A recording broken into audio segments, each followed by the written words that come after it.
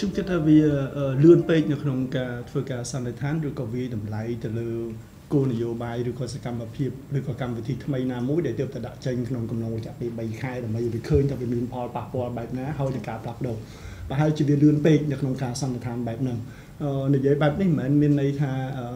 វាគ្មានការអង្កេតហើយនឹងការវិតម្លៃទៅលើអ្វីដែលបានដាក់ចេញអនុវត្តទេជាលក្ខណៈបុគ្គលនិងជាលក្ខណៈនៃការ អង្កេតសង្គមយើងឃើញមានរូបភាពជាច្រើននៃការអង្កេតប្រហែលថ្ងៃចុងក្រោយនៅពេលដែលខ្ញុំចាប់ផ្ដើមមើលយើងហៅថា Facebook ដែលដែលគាត់បង្រៀនតាម Facebook ហ្នឹង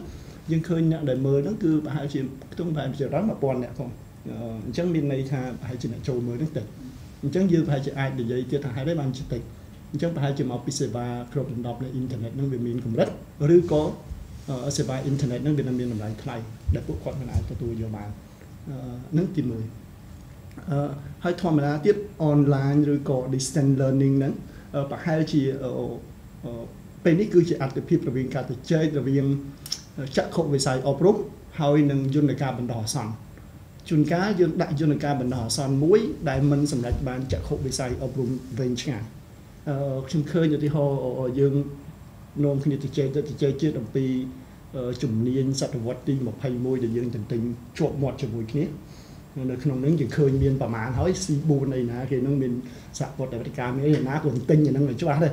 មានតាំងពីបំណិនជីវិតមានតាំងពីជំនាញទុនគេបកប្រែហើយយើងយើងនេះមានអីច្រើនក៏ប៉ុន្តែនៅពេលដែលយើងបកបញ្យន្តការបដោះអាសន្នក្នុងពេលរាល់ថ្ងៃដែលថា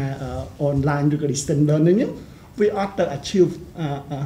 អាចក្ខុវិស័យដាក់ចេញពីព្រោះវាអត់មានអន្តរទំនាក់ទំនងរវាងមនុស្សនិងមនុស្សសោះអញ្ចឹងអាជំនាញធ្វើការជាក្រុមអាជំនាញទំនាក់ទំនងអាជំនាញចរចាវាបាត់អស់នៅពេលដែលយើង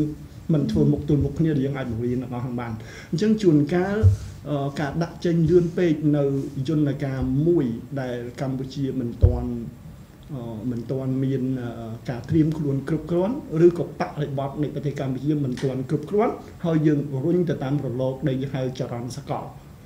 បណ្ដាប្រទេសអភិវឌ្ឍផ្សេងផ្សេងប្រហែលជាអាចធ្វើបានពីព្រោះគេស្គាល់ប្រព័ន្ធអ៊ីនធឺណិតនិងប្រព័ន្ធកុំព្យូទ័រទាំងអស់ហ្នឹងតាំងពីយូរមកហើយចំណែកដែលយើងសាលាមួយចំនួននៅទីជនបទហ្នឹងមិនតែមានអគ្គិសនីប្រើផងហើយមិនទាំងមិនទាំងមានកុំព្យូទ័រប្រើផងអញ្ចឹងបើសិនជាយើងអនឡាញទៅចំនួនមនុស្សប្រមាណដែលទទួលផលពីហ្នឹង អញ្ចឹងនៅពេលដែលកម្ពុជាកំពុងតែមានធនធានតិចតួចហ្នឹងតើយើងគួរតែប្រើធនធានតិចតួចហ្នឹងឲ្យវាមានប្រសិទ្ធភាពសម្រាប់មនុស្សច្រើនឬក៏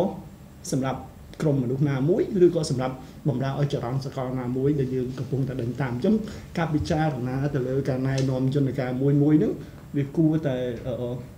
មានការពិចារណាពីបរិបទជាក់ស្ដែងរបស់កម្ពុជាបានច្បាស់លាស់មុននឹងការអនុវត្តនិយាយទៀតហ្នឹងមិនមែនមានន័យថាការដាក់ហ្នឹងវាមិនត្រឹមត្រូវវាអីទេក៏ប៉ុន្តែបញ្ហាសំខាន់បំផុតសម្រាប់កម្ពុជាគឺនៅពេលដែលយើងមានធនធានតិចតើយើងគួរតែប្រើធនធានបែបណាដើម្បីបម្រើឲ្យផលប្រយោជន៍សាធារណៈហ្នឹងឲ្យវាបានច្រើន